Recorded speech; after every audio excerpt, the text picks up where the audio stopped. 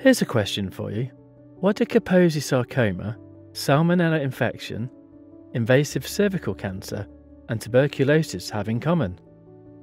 These are all AIDS defining conditions. However, let's start from the beginning. What is HIV and AIDS, and how is it relevant to the field of haematology? In this and the next few videos, we will try to answer these questions in more detail. The human immunodeficiency virus, or HIV, originated in chimpanzees and the sooty mangabey in Africa.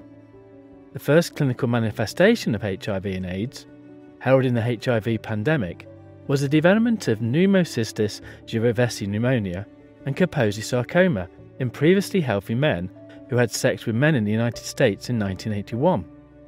Eventually, other modes of transmission were identified, including bloodborne, for example, via blood transfusions, tattoos, and needles, as well as from mother to child. Globally, 39 million people were living with HIV at the end of 2022, the majority residing in the developing nations of sub Saharan Africa. The prevalence of HIV continues to increase from ongoing new infections and the shrinking mortality of those already infected and on antiretroviral treatment. Primary HIV infection can present without symptoms or as a febrile illness with headache, pharyngitis, diarrhea, rash, and enlarged lymph nodes. Diagnosis is often delayed, however, and patients are later identified in the chronic asymptomatic phase of infection via routine screening. Later still, some are diagnosed only when opportunistic infections settle in, which might be another 8 to 10 years from transmission.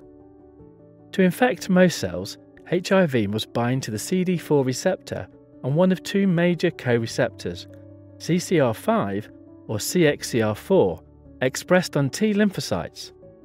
In many HIV infected patients, the virus ultimately induces a state of chronic immune activation, leading to T cell exhaustion and depletion, tissue fibrosis, and immune failure.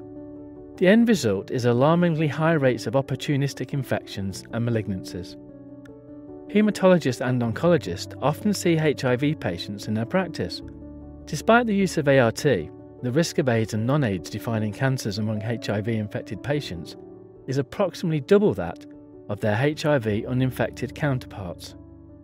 In the ART era, these malignancies represent the leading cause of death in patients living with HIV. Some of these include HIV associated diffuse large B cell lymphoma, Hodgkin lymphoma, and Castleman disease. In the next video, we will discuss these and other hematological manifestations of HIV AIDS. Stay tuned.